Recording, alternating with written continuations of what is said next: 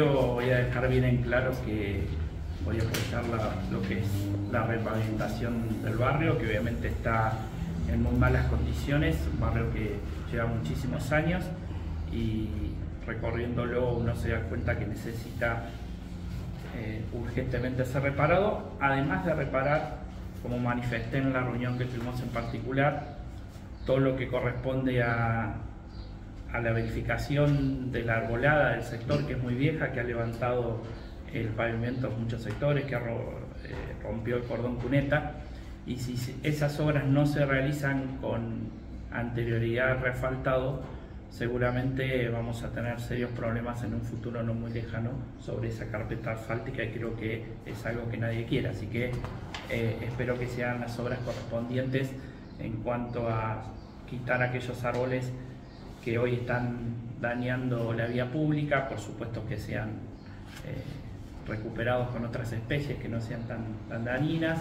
la parte del cordón cuneta y también las obras de cloacas, que hay muchos sectores de, ese barrio de la ciudad que todavía no están conectadas a la red cloacal central, por lo tanto eh, dejar previstas ya las cañerías hacia la vereda para que en un futuro no muy lejano, cuando el vecino decida hacer la conexión, no haya que romper el asfalto y otra vez tengamos los serios inconvenientes que se ven en varios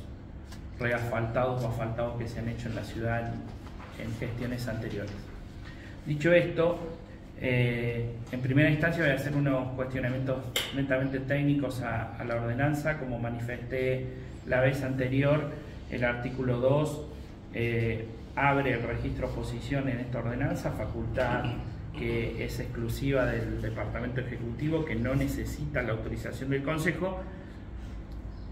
pero que es requisito indispensable para poder autorizar la obra. Todo como manifesté en los dos proyectos anteriores del barrio noreste, se está por un lado abriendo el registro de oposición y por el otro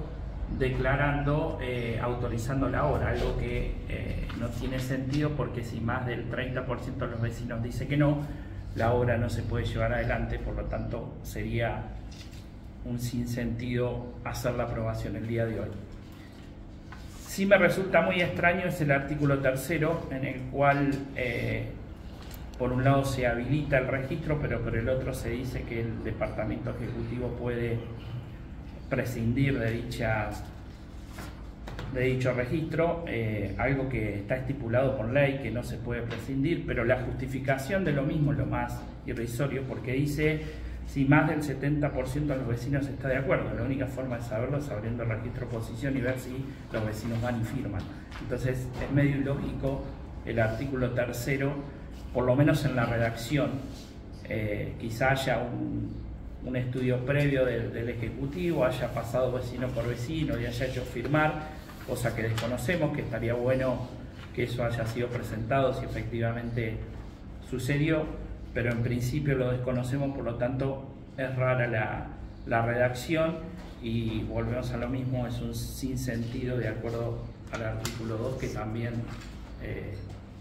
no se ajustaría a la normativa vigente.